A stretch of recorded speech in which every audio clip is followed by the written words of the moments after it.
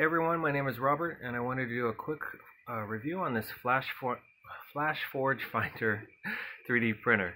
Um, so, you know, I, I'm, I'm a beginner to the 3D printing world. I've had this thing for about a year and uh, within that year I've learned quite a bit about, you know, how to 3D print, uh, making my own objects, um, and then manipulating current ones that you can find online. So, um, with that said, uh, this thing uh, it has about maybe like an 8 by 8 by 8 uh, print bed on it, which I think is big enough for, for a beginner. Um, I've made maybe one modification um, that is basically on the back. Um, this allows me to hold different uh, spools um, that are larger than what would normally go in this item right here uh, that comes from the, the factory.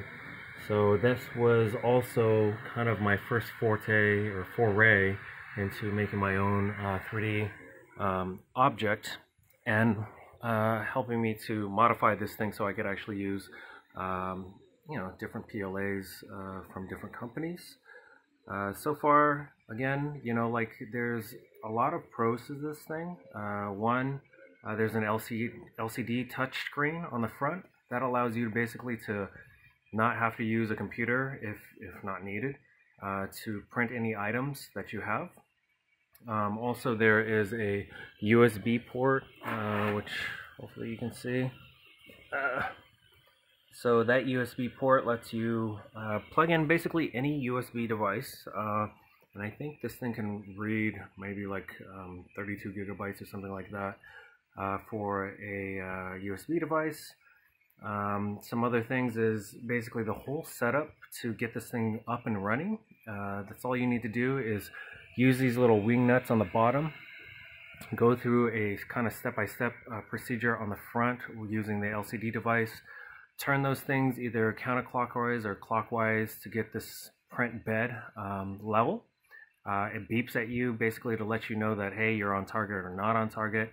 So it's actually really, really quick and easy to get this thing set up. You just, you know, do that, and then after that, you just um, uh, insert the, the PLA, that's what I use in this thing, and then you're ready to go. So, um, other than that, like I use this thing to basically print a bunch of different items around the house and sometimes for my car. Like right now, I'm making a phone mount uh, to hold my phone in my car but I've also used it to, you know, uh, help me with other projects around the house, say like light switches, um, you know, door handles, um, uh, things of that nature. So because of the smaller print um, area on it, uh, you know, you're not going to be building uh, gigantic things. So say like I have a um, Pixel XL2. Um, I wouldn't be able to uh, print a, a, case for it on this thing because the print bed's a little too small. But for the most part, um, I've been able to print pretty much everything that I've uh, kind of thought about uh, for this thing. And, uh, you know, for a beginner uh, like myself, I think this is the right size, kind of like a Goldilocks syndrome. Um, it's perfect for what I need, um, and it's perfect for what I'm trying to get out of this thing, especially for someone that's really the first time kind of going into this. Uh, for the noise level on this thing, I don't know if you guys can hear it, but uh, the fan is, you know, it's not too, too loud. Um, and it's kind of just, you know, it's like white noise. Um, in the background, it's, it's not too annoying. Um, but for the most part, if you're looking for something that is super duper quiet, um, this is probably not going to be it. But for the most part, um, it's not, it's not like a jackhammer in the background. So uh, it's not going to bother you too, too much. Uh, my favorite things about this thing is also I really like the, the fact that there's a touch screen on the front. Really uh, simple setup procedure. And then, um, you know, it's, it's, it's really basic, uh, even though it can do some pretty advanced things. Uh, I myself uh, have been trying to get more into building my own um, objects from scratch, which I must say is um, a little intimidating uh, depending on the complexity of what you're trying to do. But for the most part, um, whatever you throw at this thing, this thing can actually print out and it does a good job of printing. Um, right now I'm using a uh, off-brand PLA. Um, from that, it's it's actually been warping some of the longer straight objects. Uh, so you know my next set of um, PLA I'm going to or filament I'm going to be um, actually going with a different company to see if that fixes it. Uh, the filament that did come with the printer actually uh, was really really good and I had no problems with it whatsoever. I cheaped out and went with a cheaper option, but a fairly um, common company.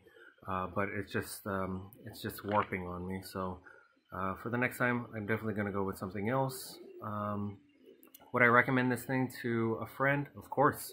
Uh, if you're looking for a printer that is uh, for someone like me, uh, a beginner, uh, I think this thing checks all the boxes. It's the right size. It's really simple. The user interface uh, on a Mac or a PC is actually really, really easy to use. You can um, connect it via USB, but the good part is also you can do it via Wi-Fi, which is really nice and allows me to be super lazy, so I don't actually have to be close to the device.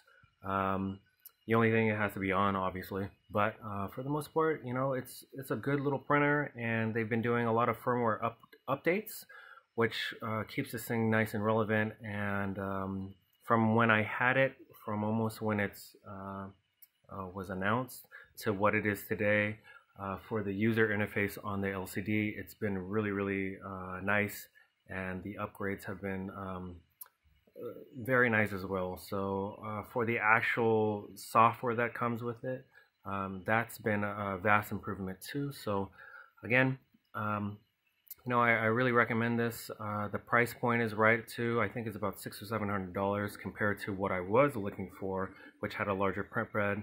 But then I think that at the time was about twenty four hundred dollars. So on an ROI level, you know, this thing is a great starter.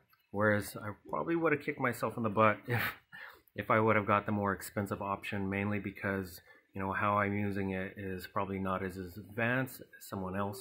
So um, this is this this really is perfect for a beginner's needs and someone that's really kind of getting uh, started in a 3D printing world and or just learning. So uh, for classroom um, or a university uh, introduction class, this is perfect as well.